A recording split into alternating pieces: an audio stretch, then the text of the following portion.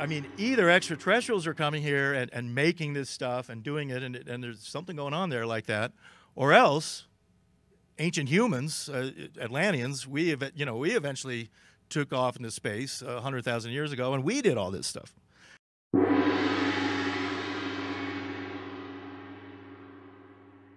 So, if everyone will come back in, we have another really wonderful presentation to begin. Our next presenter is David Hatcher Childress, the voice of Ancient Aliens, one of the most prolific researchers, and as I said yesterday, uh, the one I consider to be the true living Indiana Jones. And uh, he is going to talk today about stone balls, obelisk, uh, Tesla, the moon, and Mars. David Hatcher Childress.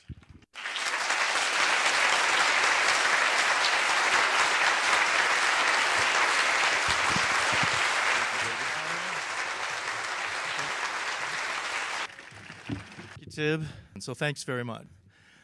So uh, hopefully most of you were here yesterday, and uh, just once again I want to say it's been great being here, and uh, these conferences are always pretty exciting, and I, I learn a lot too. We're going to start with giant stone balls, and then uh, we're going to talk about one of my favorite topics, uh, obelisks and Tesla, and then we'll head for the moon and Mars. So fasten your seatbelts, and let's let's try and dim the lights a bit, if possible. So traveling all over the world, and my own interest in in megaliths and the purpose of megaliths, uh, the moving and, and the, the carving of, of megaliths. Um, this has led me on, a, a, number of journeys, and at one time, some years ago, went on a trip to Costa Rica. And one of the things that Costa Rica is famous for are these megalithic granite stone balls. Archaeologists don't know what they're about, what they're for. Uh, they're, they're made out of granite. They're, they're, in most cases, perfectly spherical. In Costa Rica today, if you go to San Jose, you'll, you'll see them at the museum there. They're also in uh, uh, sort of um, green areas in front of banks and, and some of the uh, sort of governmental buildings and stuff there. Some of them are, are very big, um, nearly the size of a car. Others are, are somewhat smaller. And it's particularly with these, these large balls. They, archaeologists just have no idea why they would be making these stone balls, and they're difficult to make. Having to, uh, to cut and, and just create a perfect sphere out of stone is very difficult to do by hand. And once again, uh, archaeologists are saying, yeah, they're just bashing out these stone balls with a stone hammer in their hand. And to do that and create a perfect sphere is, is almost impossible. So it's, it's sort of like uh, the stone balls are, are, are, again, made by like a CAD program. And that's how, if today we were going to try and create stone balls, like to be, to be in front of a Target store or something. And Target stores do have stone balls in front of them uh, thousands of years from now, they'll be baffling archaeologists, I know. Most of the stone balls in Costa Rica come from just the very uh, southwest part of Costa Rica, right near Panama. And there's an island, too, that's just off Costa Rica, and it also has these stone balls. They're mainly just found in the jungle.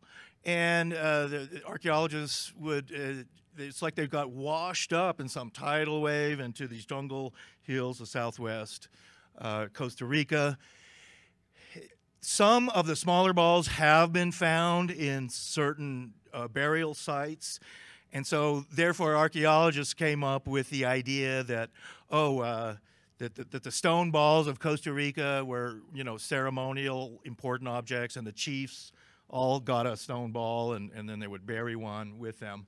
And yet there's still no explanation, you know, why they're doing this. It, and it, again, like with so many megalithic uh, structures, it's a lot of effort, apparently, to make these stone balls.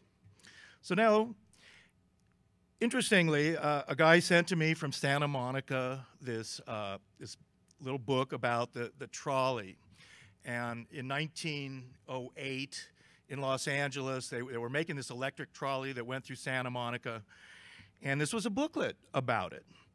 And so, because electric trolleys can only go up a, a, a very kind of small uh, grade, and it, it, they can't go over big hills and stuff, they brought in these steam shovels into Santa Monica to get rid of some of the hills that were in Santa Monica, that, uh, uh, so that the track could be level. So, as this steam shovel in Santa Monica then was taking out this, this hill, there were all these stone balls in there. And at the time, the, the archaeologists and historians said, oh, yeah, a bunch of dinosaur eggs. They've all disappeared, these balls. We don't know what happened to them. They ended up in probably gardens and things like that in, in Los Angeles. And then, now get this if you go up to Franz Josef Land, the, which is in the Russian Antarctic, which is near Spitsbergen, up there are also these stone balls and they're granite. Some of them are broken, others apparently are like perfectly spherical. In this case, archaeologists and geologists are probably going to say these are somehow natural. And some stone balls are natural, apparently, but some stone balls are absolutely, no question about it, artificial, uh, like the ones in Costa Rica. Uh, the ones in San Franz Josef land, we don't, would seem that they are also artificial, but what they're doing there is, is a, huge question. Uh, and, and again, we don't, don't know why anybody would make these stone balls anyway. They're pretty uh, perfect. Uh, the, the natural explanation would be some kind of uh, the, they're volcanic bombs that are shot out, and then in the air they become spherical, and then they land and cool, and you got it, got yourself a natural stone ball. That's that's they're sort of reaching for an explanation, shall we say? Although there's a place in Mexico where maybe this did happen.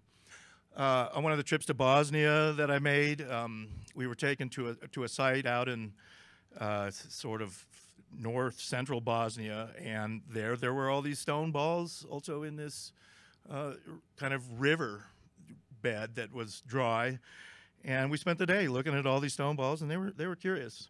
Here they are. I mean, some of them are kind of broken and stuff, but but others are really like perfect stone balls. So what is the point of them? Why?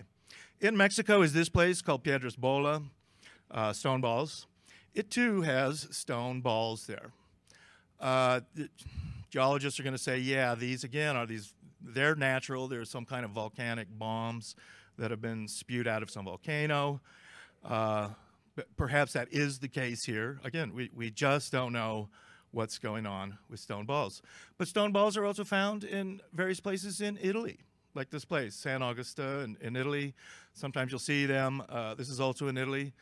Uh, they're, you know, they're, they, people find them and then they kind of they roll them up to you know in front of a castle or some chateau or something like that. So these are all some stone balls in Italy. More stone balls in Italy. I, these aren't these are not cannonballs or something. They're just they're stone balls and they're ancient. Uh, what they were for, why this is um, uh, let's see. Um, this is in, in Croatia. Here we are, Dubrovnik. And there, too, they had all these stone balls. Some of them maybe have, perhaps have been used in like catapults or something like that. They were all stacked up. None of them are as large as the big stone balls in, in Costa Rica and stuff. There's this place here in uh, Hunan, China called Gongxi. And it's this town, and it's famous for having all these stone balls in it and it, it's the, the big tourist attraction there in, in Gongxi. Here's one of the stone balls. So these stone balls are all over the world, and in, in fact, in remote places like Franz Josef Land where nobody really lives. These, this is Malta, and uh, there are stone balls there. Archaeologists have uh, theorized that some of the stone balls, like the ones at Malta, were somehow used in moving the megaliths. So you got some giant slab of, of granite or limestone or something, and then you, you put some stone balls underneath it, and you kind of you know roll it down the road or something. Or the stone balls in in uh, Malta, they're smaller ones. And now, this is a stone ball in the museum on Easter Island, and it's a perfect stone ball, about the size of uh, maybe a volleyball or a little bit smaller. And in fact, when you're on Easter Island, the, the natives there tell you the most important thing on the whole island is this stone ball. and it's it's not with the statues and stuff like that. It is in its own little um, kind of little corral, and it has a couple of small stone balls around it, and it's on the north side of the island. And they and on Easter Island they call it the navel of the world. Cuzco also calls itself the navel of the world, the center of the world. And this stone ball is is it. This is the center of the world. This stone ball on the island, and it's not in the middle of the island. It's it's kind of near the north coast. We'll go real quick through Easter Island. Robert Schoch was showing a, a lot of good uh, slides of it. What's interesting to me is that I, I, think that it has to do, they are cone heads, they have the long ears. He was talking about that. There's, they say on Easter Island that after they quarried the, the statues at the Rano Raraku volcano, that the statues themselves then walked around the island by themselves. And they had to walk in a clockwise way around this center volcano here. So if a, in theory, this is what they're saying, the, the statues are walking by, the, by themselves and they would come out here from the volcano. But if a statue was to be on this side of the island, it actually had to walk all the way around here to get to the north side to come up here. As I'm saying, they had, and there's a big vortex area here. When Jacques Cousteau was on the island doing the diving, and, and Jacques was talking about that, they had from the Calypso an ultralight plane, and they wanted to uh, his son, Philippe, wanted to fly the ultralight up around Easter Island. And they warned him. They said, don't go near this one volcano over here. It's a vortex. And on the maps of Easter Island, it, it actually points out there's a magnetic anomaly there, some kind of vortex area. It's, it's, it's actually indicated on maps. Philippe crashed his ultralight. I mean, he went there, they told him not to, like in the Bermuda Triangle or something like that. He crashed and he was almost killed, and they had to medevac him back to Santiago to save his life. So apparently, this vortex is, from what I could tell, somehow was part of this anti gravity levitation that moved the, the statues through the island. Here's the lake that's in the crater, and it has the totora reeds, which are the same reeds that are at Lake Titicaca and that you build to reed boats. And so it would seem that on Lake, on Easter Island, they were also building and the, the reed boats that we know that they used in, in Harappa and in, in, in Egypt, in Iraq, in Lake Titicaca, and on Easter Island. Just to show you how so big some of the statues are, it's pretty interesting. It's interesting to know too. They were, uh, Robert Schoch was talking about the the top heads. It's a red top knot, and they used a red tuff and then one idea is it's rather not so much a hat, but their hairstyle. And the sadhus of India, these holy men who go wandering around, what they do is they grow their hair very long and then they tie it in a big knot on the top of their head. Uh, and, that, and that's a, a hairstyle. Uh, so there's indication they were doing that too. As Robert pointed out too, this is Thor Heyerdahl's uh, excavation in, in, in, the 50s, and I met him in Peru in, in 1980. What, what a super guy. But yeah, people don't understand that these things are totally buried, and half of them are underground. And that kind of buildup would have taken so long. And it shows you that these statues have been sitting there really uh, for, I think, too, thousands of years. What these Islanders also say is that there were eyes, inlaid eyes were put in the statues, that the ones that were, were removed from the quarry, and they all faced inland around the island, and their job was to emit this power from their eyes, which they called mana, and that mana was to keep the island from sinking. Because they were from a lost land called Hiva. It had sunken under the ocean, and Easter Island was just the very uh, end, a bit of that island that hadn't sunk. And so this is their claim, and many of the books on Easter Island talk about this. So those, that's what the statue's function was. The, the ones around the island to keep the rest of the island from sinking into the ocean. This is this unusual, it's the only statue there that it's a woman. Uh, it's basalt, as, uh, as Robert Schoch was pointing out. It's a very, very unusual statue and, and looks like some kind of conehead alien. Uh, very, very oddball statue. This is another one, and this was excavated in 1960, but it wasn't, uh, didn't end up in the museum until uh, around the year 2000. and it's this oddball sort of gray alien uh, sort of looking person. And this too is, is, is something of a unique statue on the island. You have places like Vinapu It, it's very fine construction. They're using power tools, again, to, to create this. And it's interesting, too, that the word Vinapu is very similar to the Sanskrit word Vimana, which means the, uh, you know, the, the, airships. And in fact, right here by Vinapu, this is right at the end of the runway, the giant uh, runway airport on uh, Easter Island. And that runway is one of the few runways in the world where the space shuttle could land. And it was NASA who built that runway. They wanted a runway somewhere in the southern hemisphere for an emergency landing of the space shuttle if it would ever happen. So it's kind of interesting. Perhaps Vinapu was the airport in ancient times for Easter Island. This is a very unusual statue uh, on Easter Island. Uh, Robert Schoch also pointed out to. He's on his knees and he's kneeling forward and his hands are on his knees.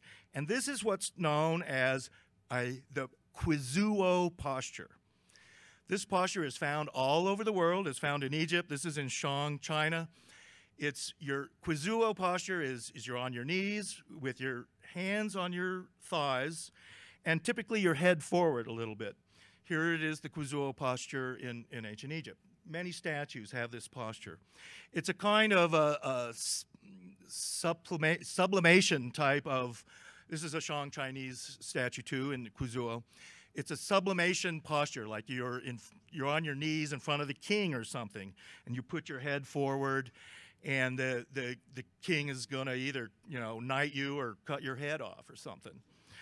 But it's an, like cranial deformation, like the keystone cuts I was talking about yesterday, uh, it's an unusual posture and one that has a lot of meaning. And it's found all over the world. These are the statues at Tiwanaku with their turbans on, and these statues are too. They're in the Quizuo posture. Here's an Olmec head, and this will be in Mexico. And in fact, he's also got the, the Sadhu type hairstyle, where his long hair is tied into a bun on the top of his head. So he's, he's an Olmec Mexican uh, Quizuo posture. This is a Quizuo posture again. He, this is a statue found at Harappa in the Indus Valley, so this is coming really from ancient India and, and Pakistan. Interesting too, I won't get into it, but the Rongo Rongo writing is very similar to uh, the, the Hawaiian island uh, hand writing. And it's also similar to the Indus Valley writing, which, and neither Rongo Rongo or the Indus Valley writing have been uh, deciphered. But it's very much like uh, hand signals and what are called in India mudras. And that is that everything the, that you do with your hands and your, your wrists and your fingers and your arms, it all has meaning. And so it's, a, it's like Navy signals of holding flags up, one arm's up, one's down. Even the way you're holding your, your, your wrist and your fingers, everything has meaning. And so that is really a lot what the Indus Valley writing is about, and so is, uh, in my mind, the Rongo Rongo writing as well. Although it's fascinating, Robert's whole thing of the, the plasma discharges and stuff, I, I think that's fascinating. Um, Rongo Rongo writing was also written in an unusual way, which is called the as the ox plows writing or boustrophedon pattern, so that the first line is read left to right, but the next line will be read right to left and then left to right. It's an unusual way of writing. Uh, the Hittites wrote that way. Doric Greek was written that way. The Rongo Rongo writing was written that way too. So once again, uh, the, what the statues look like, how how tall they are, and, and so big. And then you see the one guy here. He's this is the Quizuo posture, and notice how too he apparently has kind of a small, like a fake Egyptian beard or something. Also in the Pacific is the fantastic place. It's the eighth wonder of the world. Uh, Graham Hancock showed some photographs of it yesterday. It's called Nan Madol. It's on a remote island off of New Guinea. It's today's the, the um, capital of the of Federated States of Micronesia. It's, it's actually almost practically a territory of the United States. This place is is the most amazing place in the world. It has got over 250 million tons of basalt stacked up in 100 artificial islands. Much of it's underwater. There's huge walls 30 feet high. Uh, much of it is in the water, and, and it's built not really on the island, but onto a coral reef. There's a lot of it's underwater. There is so much material in this city 250 million tons of basalt that entire mountains would have been dismantled to get the material to build this city. The natives on the island claim that all these blocks were magically flown through the air. They were all levitated, brought from across the other side of the island, stacked up into first artificial islands and into walls. Much of it's underwater this place is it really can't be explained. And although you know mainstream archaeologists are saying, oh yeah, you know they just got some bamboo rafts, you know, just brought you know these stones out. The largest of the stones weighs 80 tons there. So yeah, and, and it's actually on top of a wall. So not only are they moving literally millions of tons of basalt, but they don't even know where it came from. This is a basalt plug that is on the far western side of the island. The, the city itself is on the southeast side. But this is what these basalt plugs look like. And these, this is columnar prismatic basalt. Uh, that site of uh, Gunung Padang in Indonesia is also built out of these things. Basalt is magnetic. It uh, will hold a magnetic charge, and it's, it's a kind of a stone that can be easily levitated. And, and it's magnetic. You would be able to put a magnetic charge into basalt, and in theory levitate it. And, and according to the Islanders, that's what they say went on there. One of my favorite topics is, is Nikola Tesla. He's the, probably the greatest inventor who ever lived. He's a suppressed person. A lot of people don't know who Tesla was. They know that Otis invented the elevator and Edison invented the phonograph and stuff, but they don't know who Nikola Tesla was. He's the one who invented really three phase motors and alternating current that's lighting this hotel today, that lights the whole world. AC power is, is really gotten from rotating magnetic fields. It's not created by, by petroleum or gas or nuclear power or anything like that. It's rotating magnets. That's what's, that's what's making AC power. So he had many friends. Tesla was a very strange person. He never got married. He had a bunch of phobias. He would literally just envision inventions in the sky, in his head. He was this visionary. Uh, in, in, my mind, he was some kind of reincarnated Atlantean engineer, uh, you know, straight out of the uh, Edgar Cayce readings and stuff like that. I mean, he was he was such a genius uh, that you know it's it's really beyond even really fathoming what he did. Guglielmo Marconi was uh, a student of his. Uh, Marconi is allegedly the inventor of the radio with Tesla, actually. He too was a very mysterious guy. He was brilliant. Unlike Tesla, Marconi was a very good businessman. He could he could run a business. He could control millions of dollars. He became very very wealthy. He supposedly died in 1937, but there's stories that he faked his own death and supposedly moved to South America and started like a secret city, like a that James Bond city that's in the jungles in the movie Moonraker, where they're going into space with Roger Moore. If you ever see that movie, that's that's basically based on this secret city that that Marconi had, had built there. A lot of this also goes with Einstein and what Einstein called the unified field. The unified field is, according to Einstein, was the, uh, the manifestation ultimately of electricity, magnetism, and gravity. And all, gravity and electricity and magnetism all manifested from what he said was the unified field. So just like there would be an equation for electromagnetism, according to Einstein, there would be equations for electrogravity and magnetogravity. And that, that's essentially artificial gravity and, and anti-gravity. So the idea of, of using the unified field and the technology behind it to, to levitate things and stuff like that. The whole developing of, of flying saucers. These are some illustrations real quickly I'm going to show you from a book called uh, Gravitational Manipulation of Domed Craft. Craft, and it's about um, using mercury, as I started to talk about yesterday, putting uh, electrical uh, fields, uh, just electricity, into a, uh, spinning, say, mercury current and creating what's called a plasma. And uh, plasmas are neon lights or plasmas, electrified gas, essentially, is a plasma. So he's, this was his old designs of how you would uh, use plasmas to create uh, anti-gravity and, and stuff like that, and, and uh, in a sense, it should be your you know, flying saucer type technology. Tesla also invented uh, death rays and things like that, and there's stories of Marconi doing this. When you have these death rays, one of the things they do is they stop the electrical field in your car or whatever you have uh, because you're interfering with the, uh, the, the car's own electrical system and stuff like that.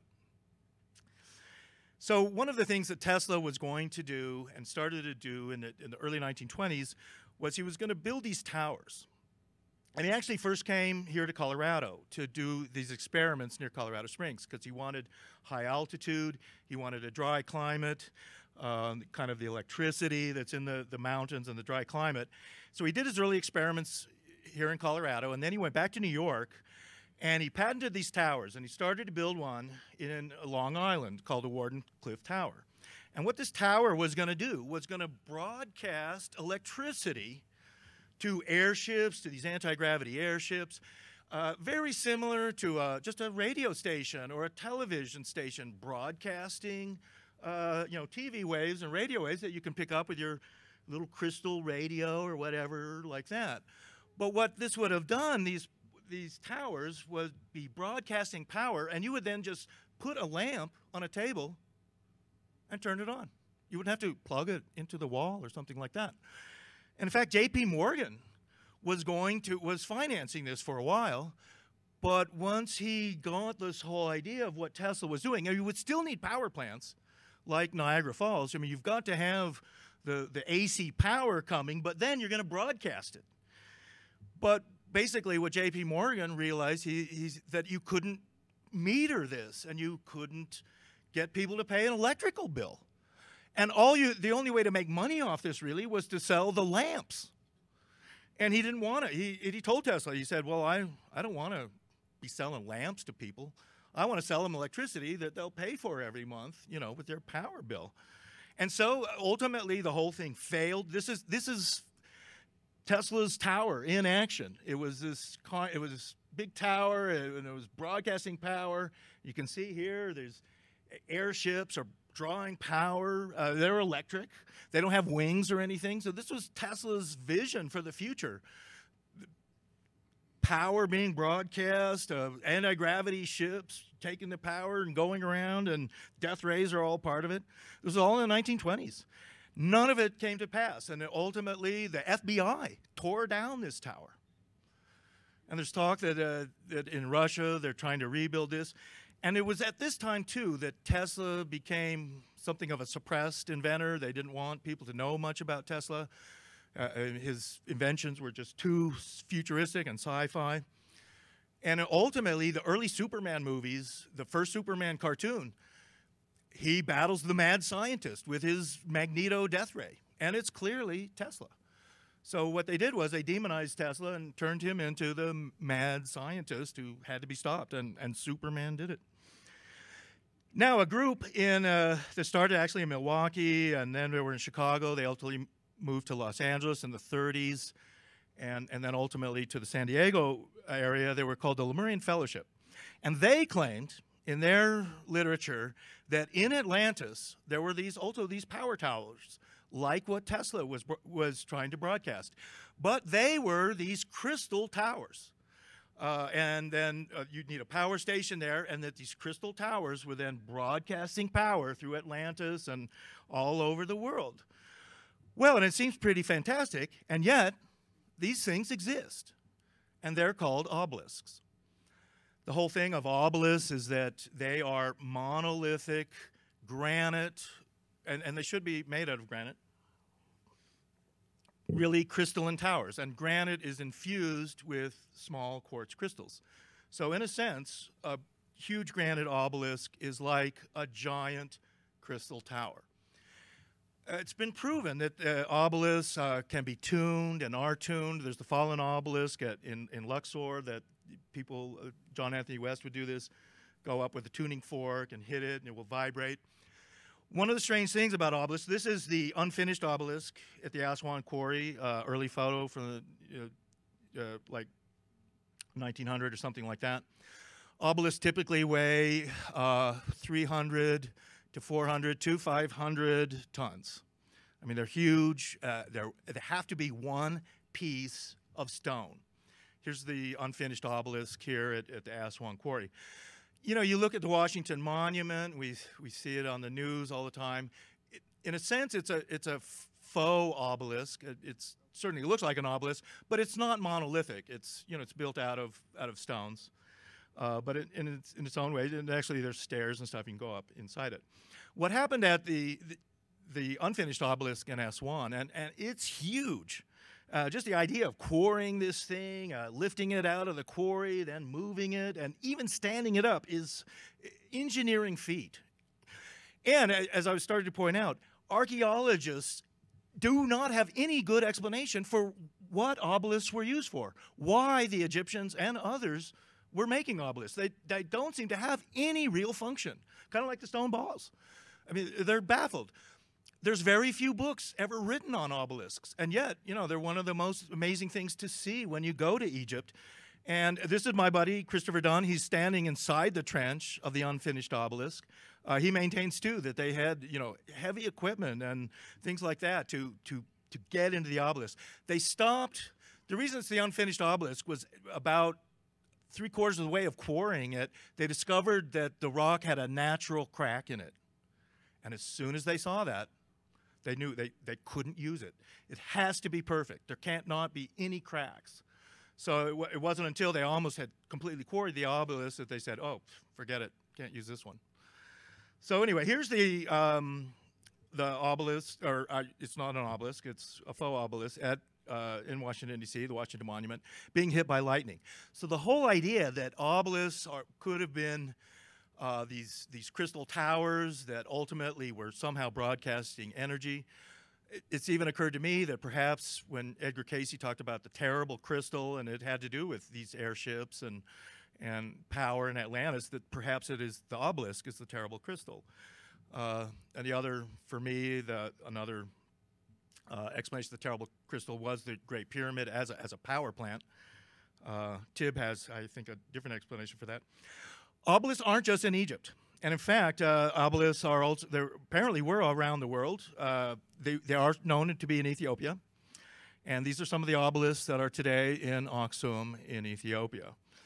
Uh, I was just there in, in November, and it was, it was, a great trip. I wanted to go there to see the obelisk. And, and in fact, I took um, Graham Hancock's book, The Sign and the Seal, with me, and I read it there, and that was great reading while I was in, e- in Ethiopia.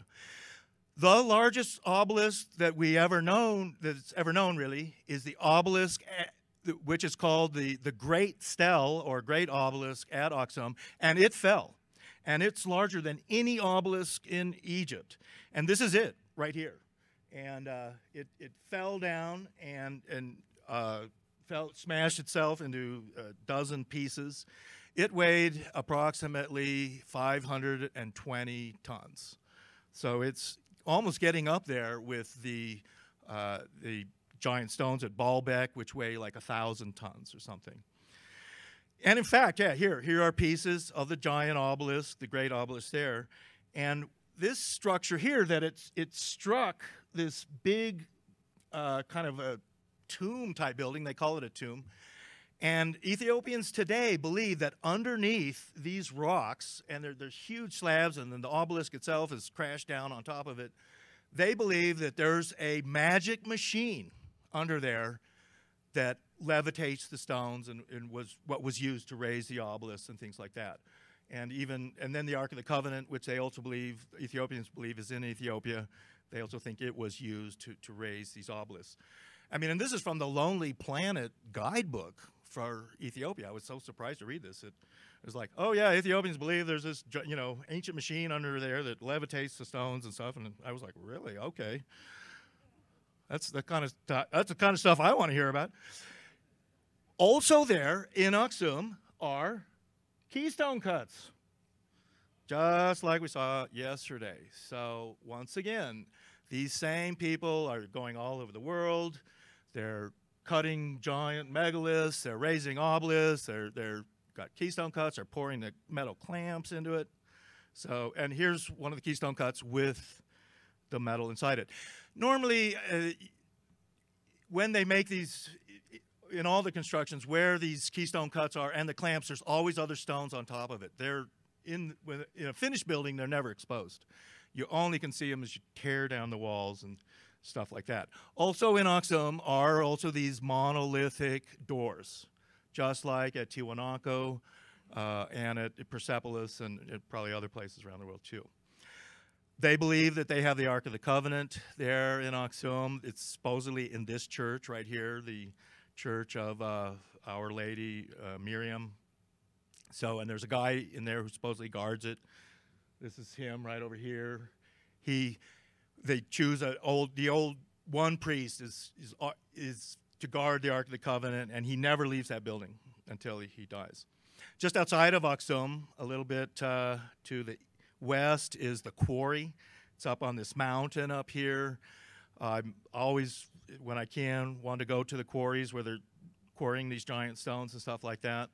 And so, yeah, they had to move these giant obelisks, 520 uh, tons, and then move it from this quarry. And there's still some giant stones there that are partially quarried, like in, in Egypt.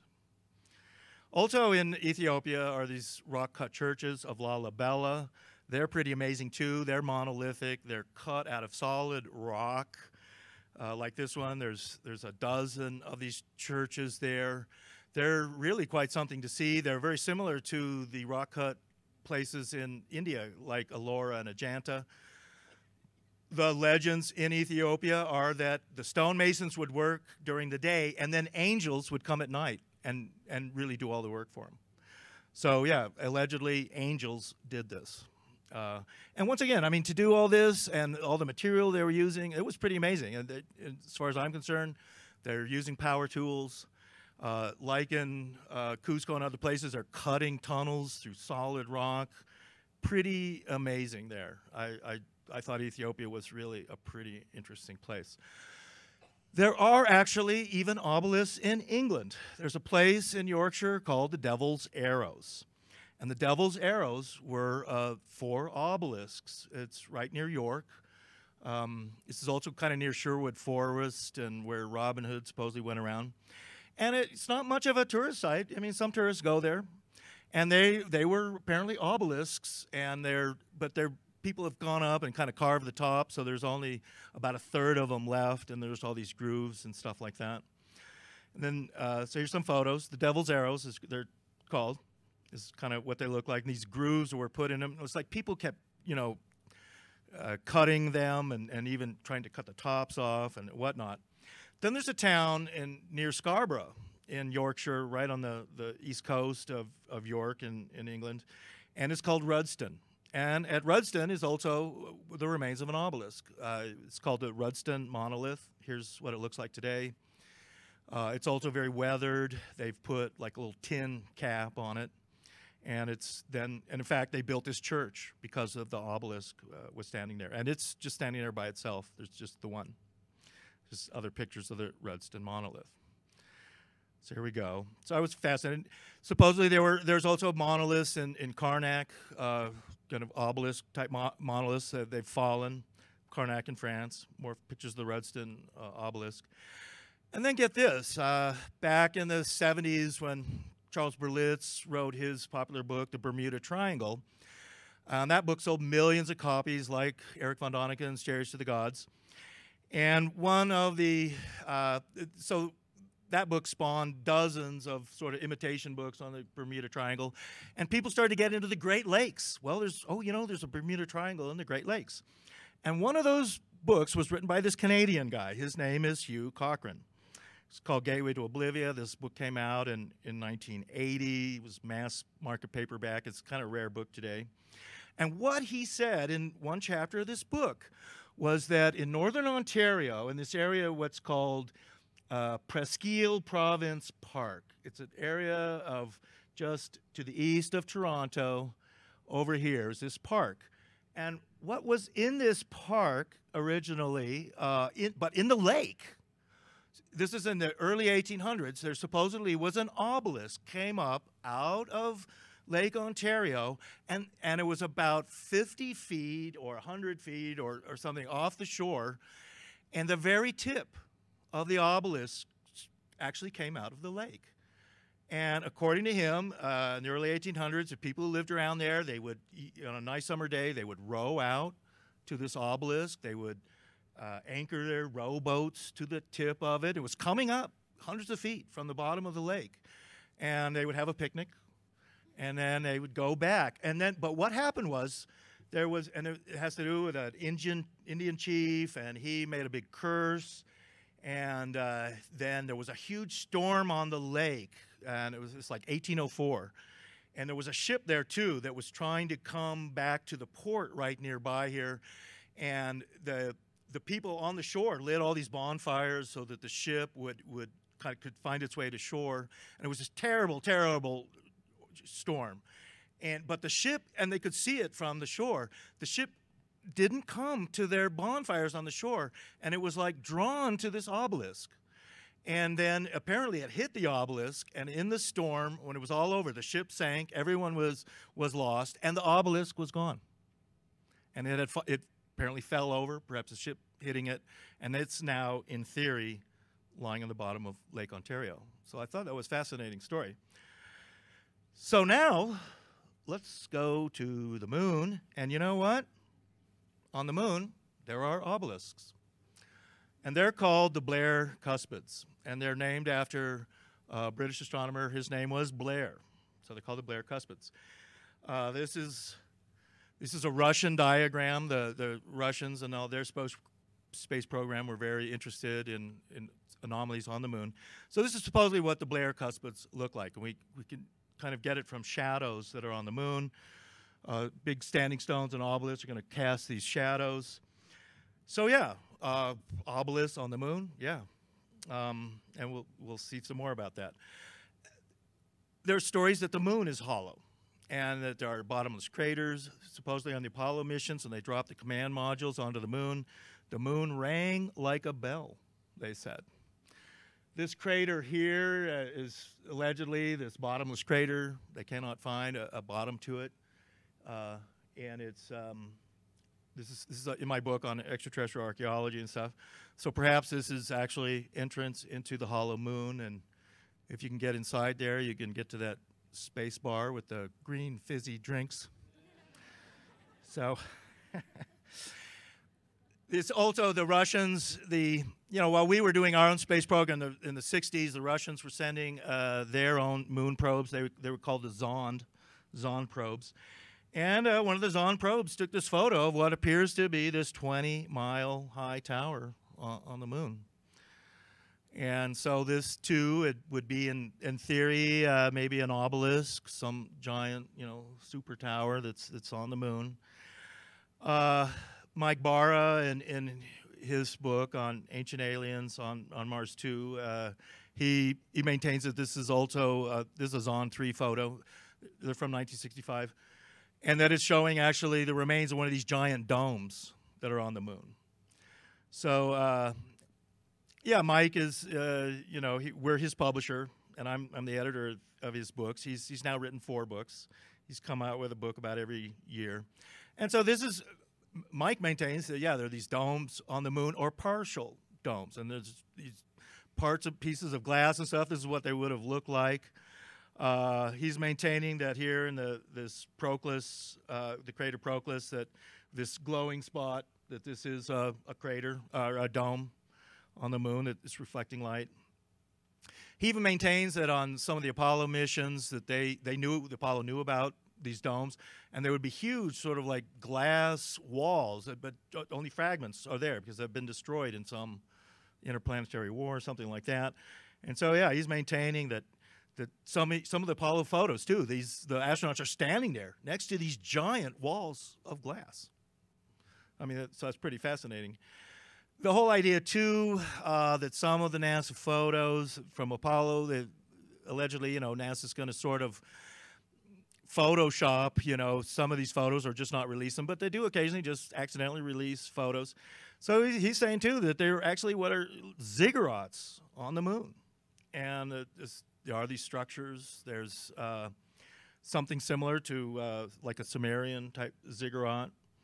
Uh, so this is a, it's in the Daedalus crater. This is the frame number from Apollo 11. This is a photo too that he was claiming is uh, like a saucer, sort of in a hangar in one of the craters. This is a photo too, supposedly showing what seems to be like a crash ship or something like that on the moon. Here's a close up of it. Whoops. Um, the idea too that there are certain pyramid objects and things like that on the moon. Back in the early 70s, uh, when all these Erich von Däniken and Bermuda Triangle books were being written, there were a couple of books about the moon. One was called Somebody Else is on the Moon. Another one was called Our Mysterious Spaceship Moon.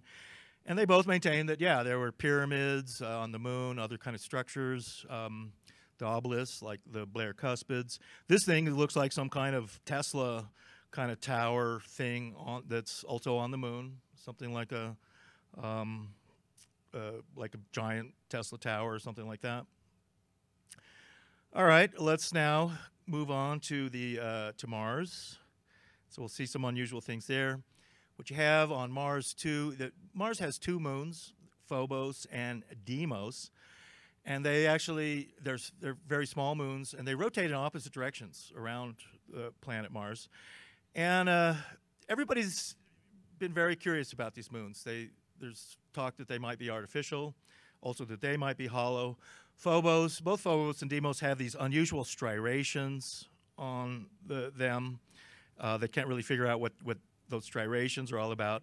And where there was the, what there was two orbiters that went up. One was the Mars Express, and the other was the Mars Reconnaissance Orbiter.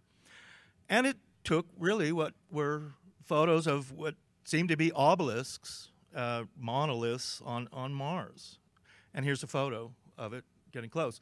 And I mean, one way that we can tell these things is, is by the shadows that are, that are cast. So that they're, they're tall, they're narrow, uh, that, I mean, it's, it's something, you know, very uh, unusual, it would seem. And perhaps if the whole idea that there are obelisks on our planet obelisks on the moon and, and apparently obelisks uh, on the moons of Mars. Another unusual thing that happened with Phobos was uh, around uh, 19, 1990 or so, 1988. The Russians sent up a probe, and uh, uh, it was 1989, and it was called the Phobos 2 probe. They sent up two, Phobos 1 and Phobos 2, and they named them after the moons of Mars. And just as it was approaching Phobos, it took this photo. And this photo is, is Phobos and what is apparently some kind of missile or elongated craft coming coming either out either from Mars or coming from the moon. And then what it did was here it is from the side so can kind of see like uh, what it might you know some kind of craft either leaving or possibly a missile. The the probe then switched to Mars and took this last photo, also of either some craft or a missile, and then the probe went out, and it was like shot out of space, or some Tesla type beam weapon just took it out, and, and it stopped transmitting back to the United States. The Russians kept this secret for years, and the Russian space program has always been uh, quite secretive, and some would say the American space program is, is quite secretive too. So this is this is Deimos, the other moon of Mars, and and what it looks like. So uh, Mike Bara also, uh, you know, he's he's a friend, and I'm his editor, and so he's part of his thing is that Mars has got all kinds of mechanical parts and pieces of machinery and stuff like that lying around, and I mean, some of the things are simulacras. There was a picture of Bigfoot on Mars, you know, it's kind of like a rock, you know. But some of the rocks are pretty interesting, and some of them look like they're shaped megaliths. Others look even like petrified wood and stuff like that. There are pyramids on Mars. This is the uh, what's called the D&M pyramid, or the DiPietro and Molenaar pyramid, and the face on Mars is kind of nearby. And in fact, with the Mars Pathfinder on the moon, that it's taking a picture of what seems to be a pyramid and almost what seems like a sphinx there in front of it. So this is, in, in a sense, the Sphinx and the pyramid on Mars. Uh, here we are, clouds on Mars, geysers and things like that. The Mars may well, uh, you know, really be a place with underground tunnels, underground bases. Uh, there's dust devils and things like that on Mars.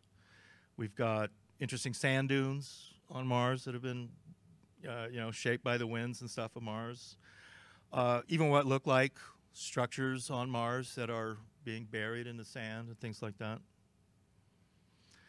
Uh, other oddball, just fossils and rocks on the on Mars. They they call this one the the stoplight, or the or the traffic light. So. And, uh, these are real. These are real photos coming from Pathfinder on Mars, and you know people on the internet, and uh, many of them are in, in England actually, and they just go over very carefully all of these uh, Mars images, looking for something artificial, something that's interesting to see. This one they call the the coffin on Mars, some kind of megalithic tomb. And so, one of the interesting things about our solar system and and and Mars has to do with this in a sense, is that our astronomers have often theorized that our solar system, you know, has these planets, and there's there's a thing called Bode's law. He was a astro German astronomer in the mid 1800s, and he created a logar logarithmic equation that went out from the sun. And basically, what Bode's law said was that as you go out from the sun, there should be a planet here, then you go a little bit farther out from the sun, there should be another planet here. And then as you go more farther from the sun, there's another planet here. And our solar system fit his law very well, except for one thing. Between Mars and Jupiter, he said, there should be a planet. But there's not a planet between Mars and Jupiter. What is there instead is the asteroid belt. And so the idea here is that a number of people have proposed is that there was a planet between Mars and Jupiter, but that planet exploded and it blew up. And instead of there now being a planet between Mars and Jupiter, there's the asteroid belt. And when that planet blew up, it showered the solar system with asteroids. And those asteroids would have hit Mars, they would have hit other planets, they would have hit our moon, they would have hit Earth too. And in fact, that is, you know, the basic story of Superman and that he's from this exploded planet.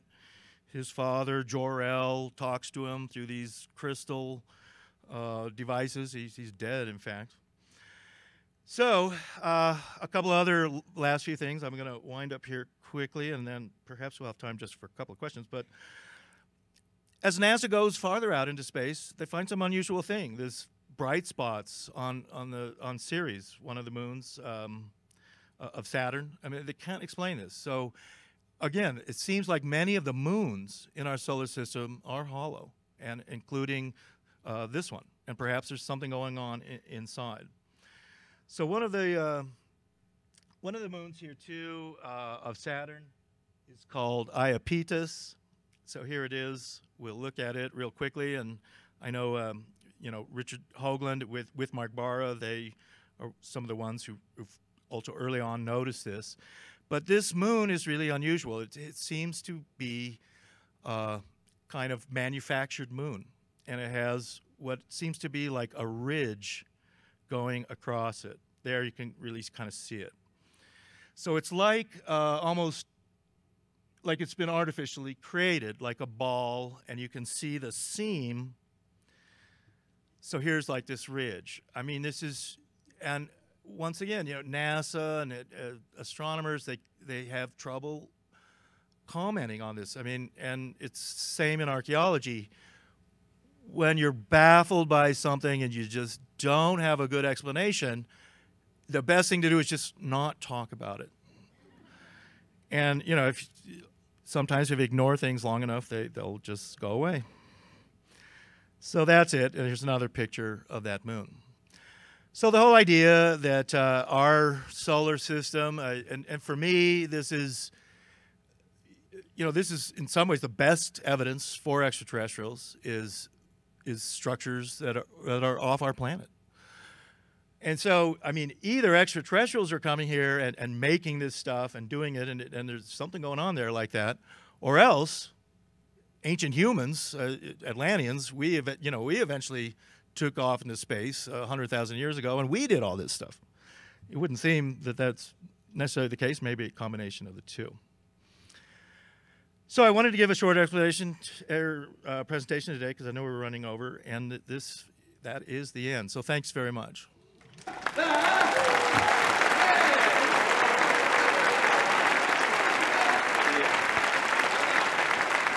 And of course, you have David's website, and uh, you can watch David on the Ancient Alien series. Again, another round of applause for David Hatcher Childress.